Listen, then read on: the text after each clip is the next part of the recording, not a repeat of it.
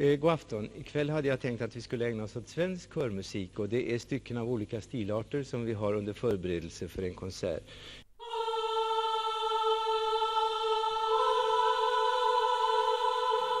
No person has left a greater legacy in choral music than Erik Eriksson. He was a perfectionist. He had a vision and he was determined to achieve it.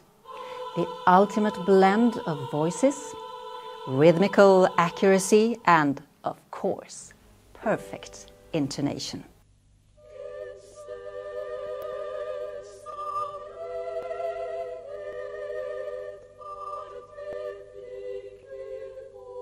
During the 30 years he was the conductor of the Swedish radio choir, he recorded not only the concerts, but every rehearsal.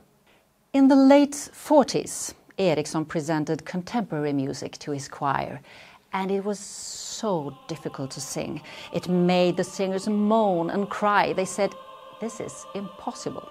Today, many choirs in Sweden and in other countries sing those very same pieces thanks to his groundbreaking work. Producers at EMI Records were so impressed by concerts they heard on the radio that they gave Ericson the incredible challenge of recording as much of the advanced European choir music that they could find. These recordings resounded all over the world, and uh, people started talking about the Ericson sound and the Swedish choral miracle. Eric Ericson had beautiful and supple hands and a unique way of communicating with them, shaping and molding the sounds with his gestures.